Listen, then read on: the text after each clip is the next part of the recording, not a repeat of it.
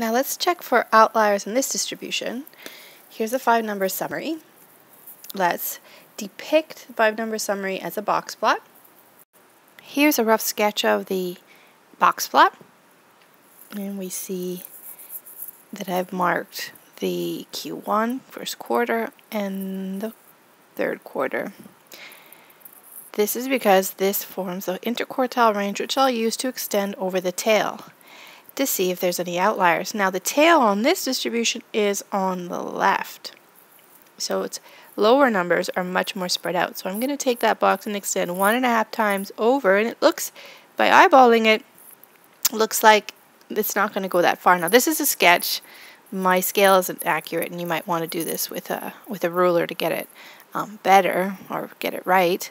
Um, here are the main calculations.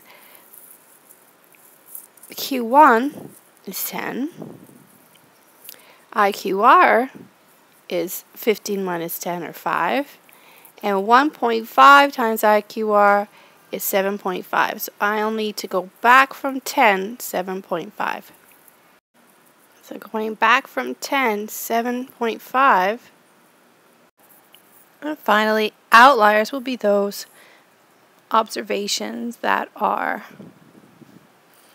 found before 2.5. So 1 would be one of those. 1 is an observation, but because I don't see all the observations, I don't know what other ones there just might be.